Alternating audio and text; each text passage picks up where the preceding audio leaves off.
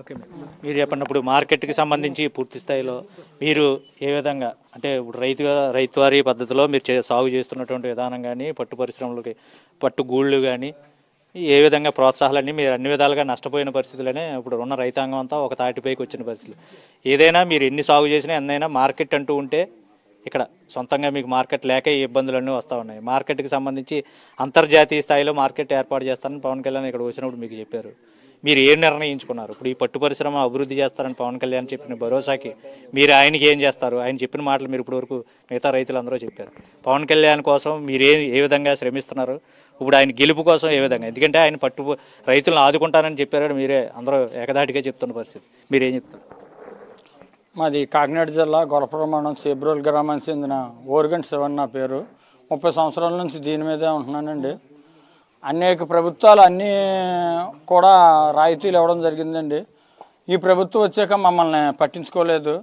మొన్న పవన్ కళ్యాణ్ గారు జూను పదిహేనో తారీఖు వారాహ యాత్ర గురించి వచ్చినప్పుడు మేము కలిస్తే ఇక్కడికి వస్తాను నేను మీ మాట వింటాను అన్నారు.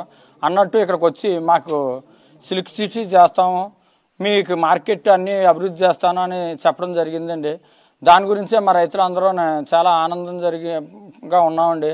తర్వాత అతను పిఠాపురం నుంచే పోటీ చేస్తాము అనే వార్త వచ్చేవిడికి ప్రతి ఒక్కరికి కూడా రోమాలో ఇదేవి మనిషి ఏదో అన్న ఆనందంలోనే భావోద్వేగానికి కూడా లోనేయడం జరిగిందండి.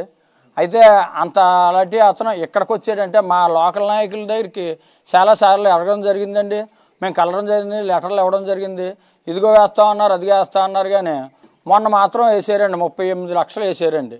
ఇతను కలిసే కానీ ఏటో ఇక్కడ మీటింగ్ జరగకూడదు.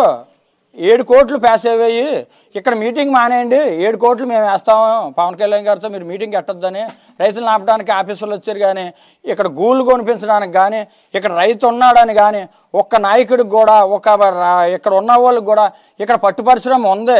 చేబ్రోల్లో రైతులు రెండు వేల మంది ఉపాధి కల్పిస్తున్నారు. చిన్న చిన్న రాజ్యులు అందరూ కలిపి ఇక్కడ ఇంచుమించు రెండు వేల మంది సుమారు జీవనోపాధి జరుగుతుందండి ఇక్కడ. జరుగుతున్నా సరే కానీ పట్టు పండించి కూడా ఎంత అలాగా ఉన్నారంటే అండి మేము పండించి రాత్రి అనక పగలనక కష్టపడి ఇవి పండితే ఇక్కడికి వచ్చి వీళ్ళు దళారులు వాళ్ళకి నచ్చిన రేట్లకి అమ్మే కొనుక్కోవడం.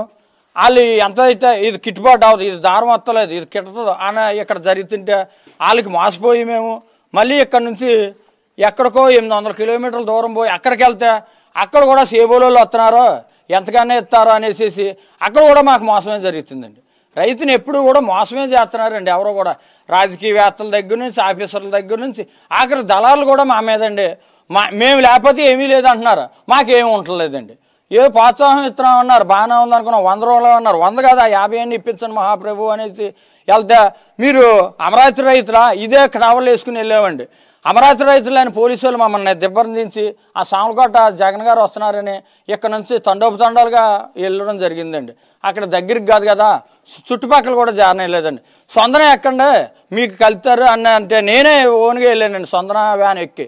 దాని వెనకాల పరిగెట్టుకు వెళ్తే మీ సమస్య అయిపోయిందండి మేము తీర్చేస్తున్నాం అనేసి ఆ లెటర్లు ఇచ్చేసుకుని అక్కడికి అతను కనలేదు ఏమి చేయలేదండి. అలాంటిది పవన్ కళ్యాణ్ గారు అంత క్రేజ్ ఉండి అంత అలాగుండి మా సేబ్రోల్ గ్రామాన్ని గుర్తుపెట్టుకుని ఈ పట్టు పరిశ్రమ అన్న దాన్ని ఏదో ఉంది నేను చేస్తాను అనేసి ఇక్కడికి వచ్చి గూళ్ళు చూసి మా రైతులకు భరోసా ఇవ్వడం జరిగింది కాబట్టి అతను నెగ్గాక మాకు అతను ఆయించిన ఇచ్చిన హామీలు అన్నీ నిలబెట్టి మా రైతులకు మళ్ళీ సేయూత ఇచ్చి మళ్ళీ పోషించాలని మేము మళ్ళీ కొత్తగా మళ్ళీ ఇతని పేరు చెప్పుకుని ఇంతమంది రైతులుని ఉత్సాహంగా ఉండాలని పాతబాకాలు ఇప్పించేసి కొత్త పోషాలు చేయాలని మేము కోరుకుంటా. విన్నపం చేస్తున్నాం మీ ప్రేమ టీవీ ద్వారానండి